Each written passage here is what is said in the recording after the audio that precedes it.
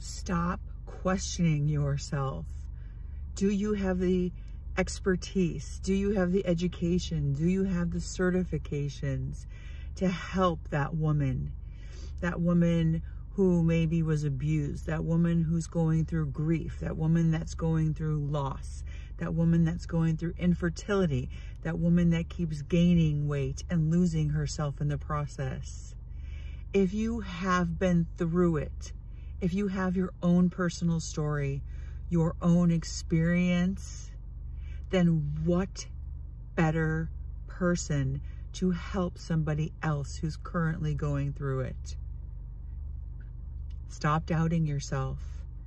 You are the subject matter expert because of your story, because of what happened to you, because of your experience. And don't let anyone tell you any different. Even Jesus agrees with me, by the way.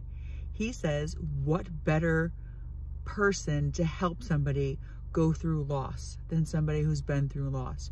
What better person to help a woman go through abuse than a woman that has been abused? Remember, you are worth it.